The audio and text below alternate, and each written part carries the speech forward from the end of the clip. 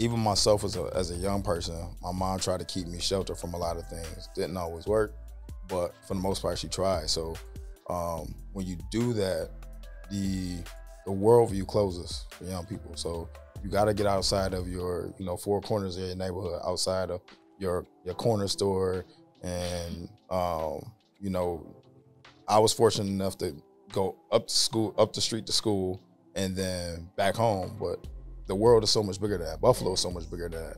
Um, but when you start to get young people outside of Buffalo and they go to different cities and they see how people of color interact with one another, um, it changes mindset, and you have to do that.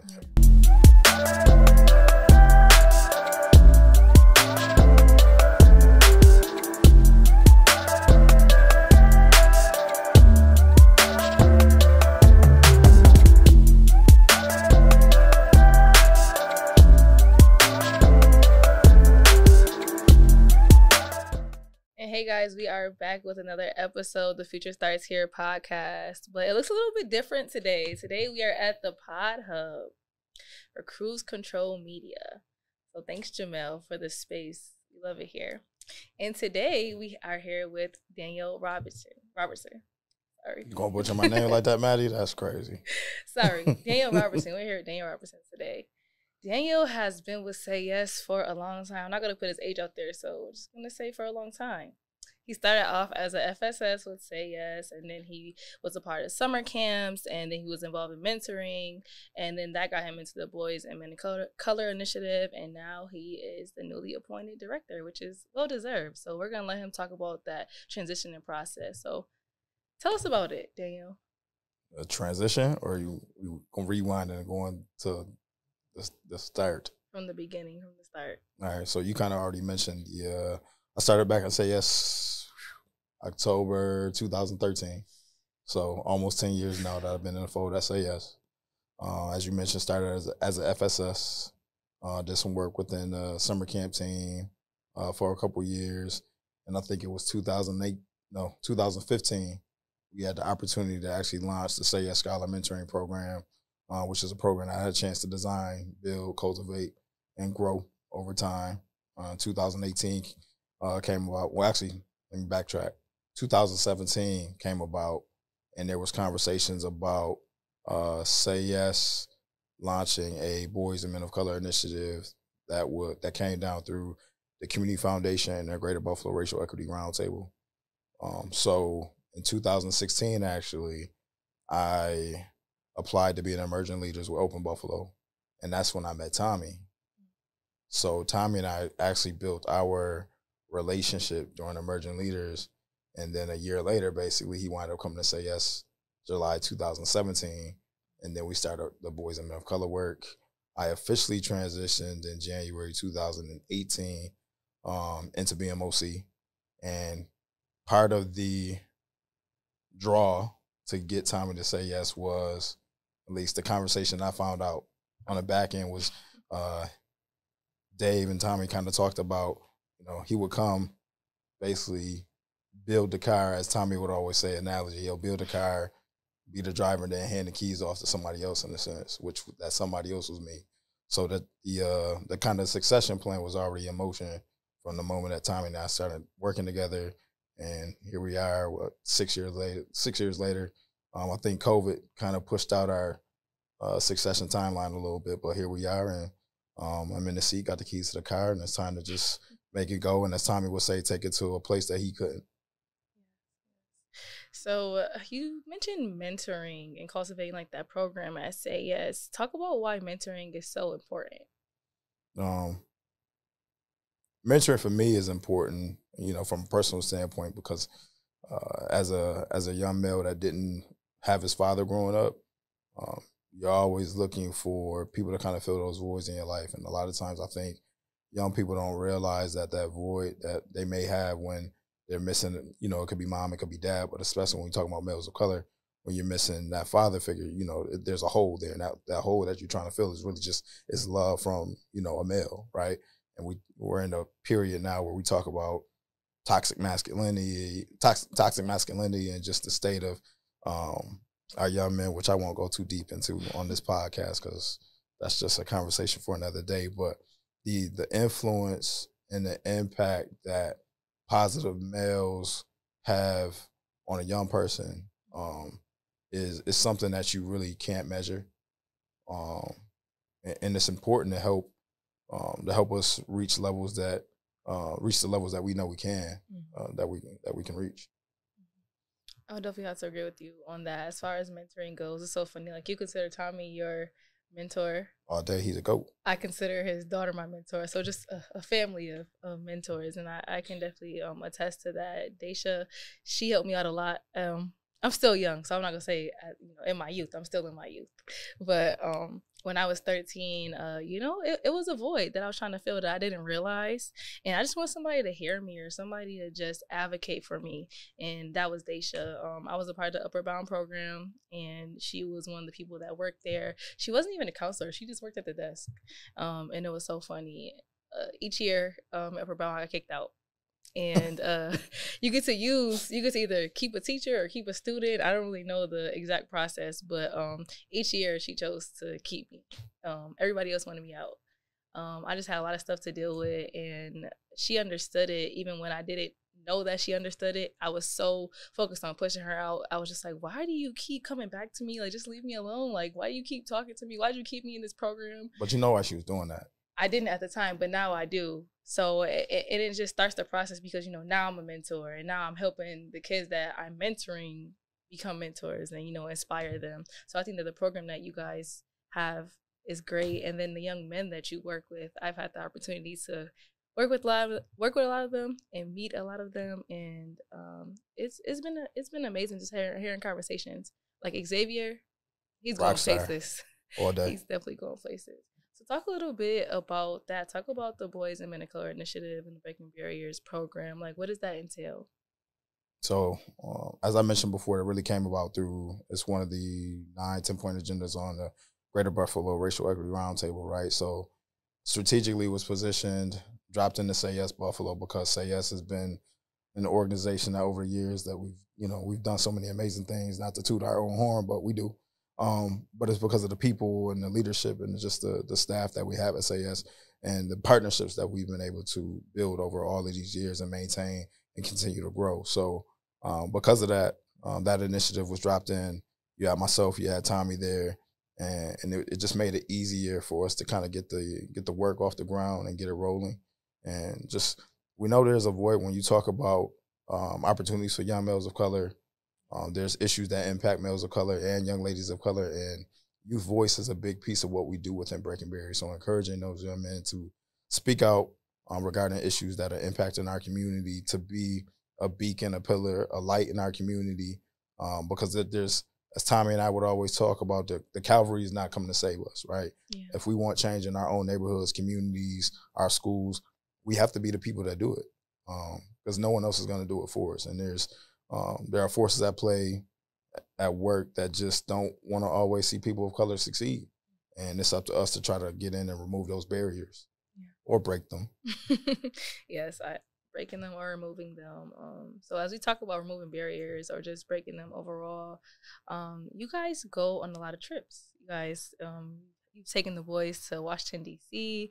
You guys take them on camping trips. Um, why is it so important to take um, not just young men, but you could focus on them, but um, the youth out of their environments to show them other places. It's exposure. Um, a lot of times, the street to school and then back home, but the world is so much bigger than that. Buffalo is so much bigger than that. Um, but when you start to get young people outside of Buffalo and they go to different cities and they see how people of color interact with one another, um, it changes mindset, and you have to do that. Yeah. I know ultimately the goal I say yes is to get pe- young people through high school, get them to college, um, have them graduate and stay here in Buffalo to help build up the workforce. Yeah. But we also want young people to know that that there's a world outside of Buffalo because it just it changes your perspective and how you just look at the world. You get a chance to interact with different people. You see different strategies being implemented in different cities, um, and you see how you know some people are going about going about attacking some of the issues that have plagued us for years. Yeah, and you're able to bring that back. Yeah. I I I didn't see outside of Buffalo until I was probably about 16, 17, and me realizing that it's a whole nother world out there and that I could achieve that or, you know, go that distance, it was it was a different experience for me. Whereas before I before I went there, I didn't even think that that was even out there. I didn't know. You know, I grew up on Rounds off of Bailey. I just knew the LaSalle corner store. Um, I knew the corner store or the gas station on Eggert and Kensington. And that was really it for me. And um, I went away to Fredonia, and the first day there, it's not that far, but it's like a huge environment change when you haven't been anywhere. It is like I think about all the streets that I lived on in Buffalo. Well, wow, during my time living in Buffalo, so Bailey, Montana, Genesee, Hazelwood. Now I live in North Buffalo, and it's like growing up on the east side up until probably the time I was around 13, I really didn't move around in those areas too much because mom was just like, yo, we're not in the safe neighborhoods. Yeah. You know, I couldn't go out on Montana Street and play in the front of my house. It was like, yo, you play in the backyard or you just stay in the house. Exactly. You know what I mean? And now we just can't we can't even get kids to go outside. But that's a that's another thing That's for another day too. But um I love traveling now. Like anytime I get a chance to get on the plane, I'm gone. Yeah. Like, So even the, the trips that we get to take the young men on, we go to the mentoring summit every year. Cities United, which is an organization that does a ton of work around implementing strategies to reduce gun violence in cities with mayors and young people. Uh, we go to their convening every year. This year it's in Atlanta. Um, so we're looking forward to that. We'll probably take about six to eight young men down there to participate. Jamie is a fellow this year for Cities United, so it's gonna be a really cool opportunity experience for him. That's Um, amazing. So yeah, Shout out Jamie. word. Yeah. So, you know, you guys have already done so much, but you know, now you have the reins. It's you know, it's your turn. So, so what's next? I know you can't tell us everything, but you know, what, No, what it's do you have funny as you say that, right? So Breaking Barriers has been running up and running since 2018. And yes, we've done a lot, but I feel like we're really just we've really just started to scratch the surface, right? There's there's so many other things and just as uh as Gino would say, there's always another level, right, that we can take it to. So um for me it's just it's really about doing that. Um I think Benny said last year was about branding, this year is about expanding. So that's what we're trying to do. We want to expand into uh, the Buffalo Public Schools, and the, the goal initially was to have Breaking Barriers as an elective course in all the Buffalo Public Schools. So that's something that we're still pushing towards. Um, but we want to try to impact as many young men as possible, um, and just give them the the, the the the leadership skills and tools that they need to navigate the world. Because you know, a lot of times we, Tommy and I, we used to always talking about talk about going from grassroots to grass tops. So you have to know how to navigate and operate in your environments that you're used to, that you've grown up in on a daily basis. All right. But you also have to know how to navigate when you get into those corporate spaces, professional work settings, when you're in those boardroom meetings. Um, Yeah. Those are those are two completely, vastly different places Yeah. and, and worlds and environments that young people have to learn how to how to how to navigate. Definitely. I'm still navigating through some of um these workplaces. You know, sometimes I still freeze up, but You're doing a good job, though, Maddie. I'm trying. I'm trying. I'm getting better. Um, so I got one last question. So, what piece of advice would you give to our youth? I know it's a broad question, but That's super broad. Um, you gotta grind. Like no one, no one is gonna give you anything. Um, you really have to work hard for whatever whatever it is that you want to accomplish. Uh, we always talk about finding your passion your purpose. So finding those two things, and once you figure out what you're passionate about, it's gonna walk you right into you know whatever your purpose is. And it's important to try to find those things early on Mhm. um, because it's just gonna make your life that much easier, right? Uh, what I would add on to that is in your lifelong journey too is find not just one mentor, but um, a plethora, an advisory board of mentors that you can go to to discuss different issues. It might be personal stuff, it might be work stuff, it might be relationship stuff, it might be family issues. Um, one person may not be able to give you all the advice and guidance that you need to, to navigate and deal with all of those different things that just we as adults deal with. yeah, Um, I mean, me, me being a dad, I'm still, you know, Tom. I go to Tommy with stuff to just help me with being a dad to Layla. Like it's and balancing work life balance. Like it's something that I struggle with it bad, real bad Yeah. between, you know, working at Say Yes and then, you know, my side activities that I do outside of work as far as bartending and stuff, and then being a being a full time dad. So uh, yeah, find your mentor, find your passion, your purpose, and um, figure out how to just balance all the things that you got to balance in life, and while doing all of that, still maintain your your level of self care because that's important too. Because if you don't take care of you, then everything else goes kaput. Forget about it. self care is important. You mentioned you do a lot of things. Like, how do you, what do you do for self care? It's really the gym and basketball. Um, but The those gym. things, those things have been been lacking uh, lately. I haven't been able to get to the gym as consistently as I wanted to. And that's funny. I just saw Jamil on somebody's podcast talking about how, um, you know, we don't even practice the things that we preach in regards to that self care piece. But it's so true. You gotta like, you gotta take care of you, man. Because if you don't, you can't bring your best self um, to to every situation, every room that you may enter. So it's important. So I, I'm gonna dedicate myself to getting back in the gym um, at least four times a week and just back to playing ball because those are the things that you know basketball court is my sanctuary. Like Kobe was my favorite player, and just you know try to bring that type of mentality to everything that you do.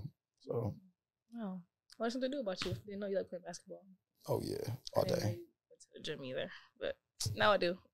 That's what you're gonna that really matter. Is there anything else you'd like to tell me that I didn't ask you about today? No, I think you did a good job. Thank you. Thank you. Thank you. Well, you guys can find us on Facebook or Instagram at Say Yes Buffalo or online at sayyesbuffalo.org. Um, until next time.